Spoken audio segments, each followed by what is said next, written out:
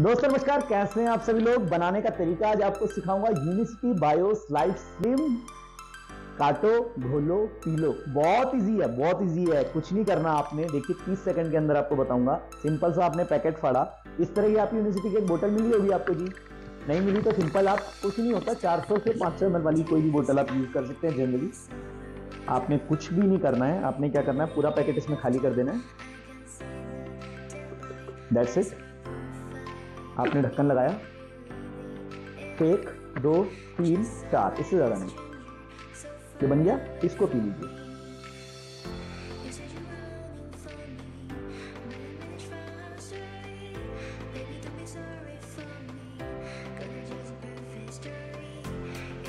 थोड़ा सा पानी भरिए, इसे दोबारा पी लीजिए।